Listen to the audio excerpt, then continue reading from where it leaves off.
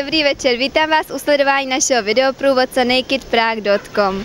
Dneska si povíme něco o jeruzalémské synagoze. Jeruzalémská nebo též jubilejní synagoga, tedy nejmladší, avšak největší synagogální stavba v Praze, byla vybudována podle plánu vídeňského architekta Williama Šťastně stavitelem Aloisem Richterem.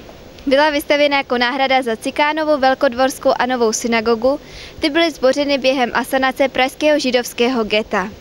Výstavba probíhala mezi lety 1905 až 1906 v Maurském a secesním slohu. Nachází se v Jeruzalémské ulici na Novém městě. Oba názvy synagogy se stále používají.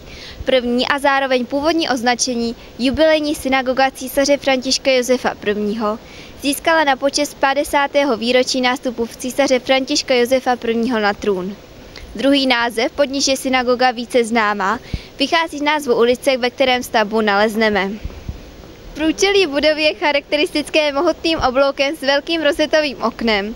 V němž nalezneme šesticípou Davidovu hvězdu.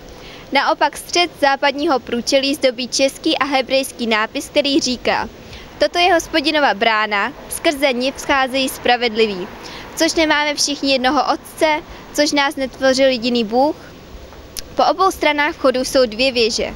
Při pohledu na tento svatostánek se nám může znát, že se nacházíme v okolí Jeruzaléma, jelikož fasáda hraje mnoha barvami.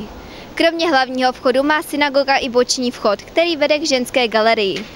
Vnitřní čelo chrámu je zdobeno motivem vinné révy, nad ním se nachází Mojžíšovy desky z deseti zákony. Nalezneme zde také rozměrné varhany a četné tepané lustry. První větší rekonstrukce proběhla až v 90. letech a byly při ní objeveny bohatě malované ornamenty ve stylu vídeňské secese.